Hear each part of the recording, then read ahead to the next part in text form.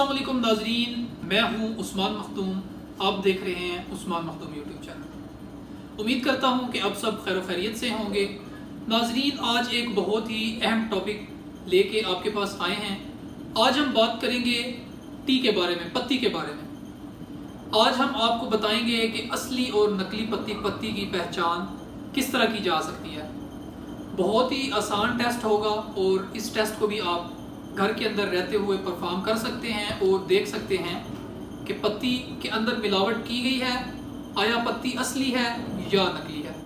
जी तो व्यूवर्स आज का जो टेस्ट है, इसके लिए सबसे पहले जो जिस चीज़ की आपको ज़रूरत पड़ेगी, वो ये है टॉयलेट क्लीनर इस टेस्ट को परफॉर्म करने के लिए आपको हाइड्रोक्लोरिक एसिड की ज़रूरत पड़ेगी, जो कि मार्केट में इजीली अवेलेबल नहीं होता। उसका जो सोल्यूशन है वो हम आपको प्रोवाइड कर रहे हैं कि ये आप मार्केट से किसी भी शॉप से आप उठा सकते हैं, क्योंकि इसके अंदर भी हाइड्रोक्लोरिक एसिड मौजूद होता है। इस केमिकल को यूज़ करके आप चेक कर सकते हैं कि पत्ती के अंदर कितनी मिलावट की गई है, आया पत्ती असली है या नकली है। जी तो नाजरीन, अभी हम, ये हमने तीन डिफरेंट ब्रांड्स की पत्ती हम, हमने मार्केट से उठाई है, ठीक है? अभी हम इसका टेस्ट करेंगे और आपको दिखाएँगे कि असली पत्ती कौन सी है और नकली पत्ती कौन कौन सी है। सबसे पहले आपको मैं एक बड़ी अहम बात बताता चलूँ कि हमारा मकसद किसी भी ब्रांड को बदनाम करना नहीं है। हमारी वीडियोस का मकसद अवामनास के अंदर आगाही फैलाना है। तो आइए टेस्ट शुरू करते हैं। ये हमने पत्ती इस गिलास में डाली।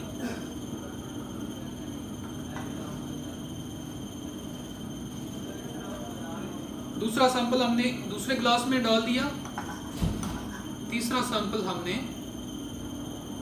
इस सी वाले के अंदर डाल दिया। जैसा कि आप देख सकते हैं, इनके ऊपर मेंशन किया गया है।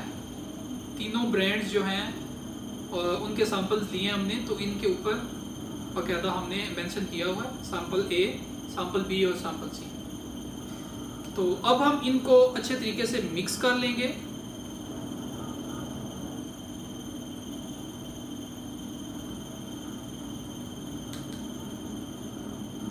ताकि पत्ती मुकम्मल तौर पे पानी के अंदर हल हो जाए।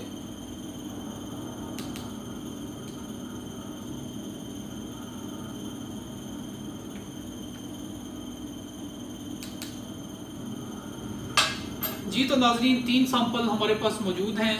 इन सैंपल्स को हम तकरीबन पाँच मिनट के लिए रखेंगे ताकि ये पानी के अंदर मुकम्मल तौर पे हल हो जाए और जो पत्ती है, उसके अंदर जो भी कलर है वो इस के अंदर अच्छी तरीके से डिज़ोल्व हो जाए।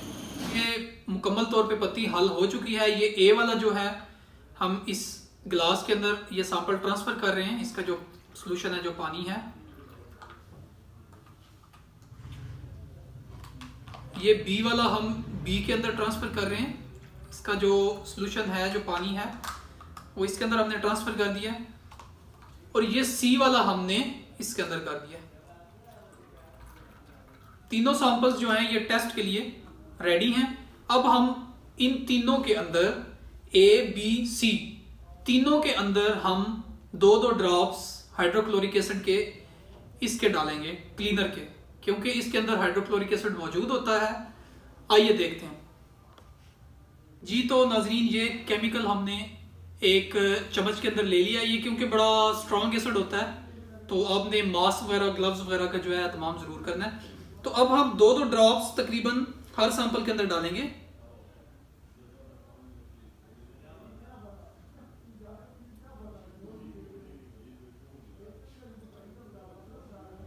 तीनों सैंपल्स के अंदर हमने तकरीबन दो दो ड्रॉप्स डाल दिए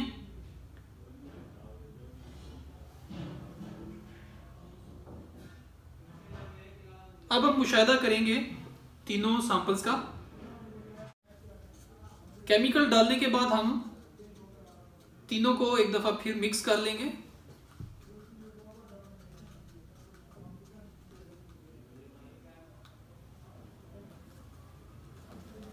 अब हम तीनों सैंपल्स का बगौर मुशाह करेंगे और कैमरा करीब करके हम आपको दिखाएँगे कि क्या तब्दीलियाँ रुनुमा हुई हैं तीनों सैंपल्स के अंदर।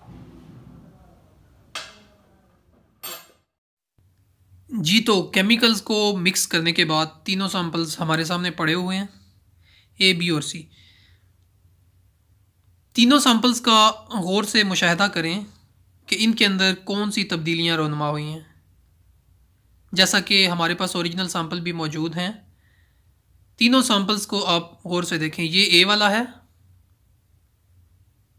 इसके अंदर बहुत ही कम चेंजेस हुई हैं। बी वाले के अंदर चेंजेस हुई हैं, लेकिन इतनी ज़्यादा चेंजेस नहीं हुई कलर के अंदर।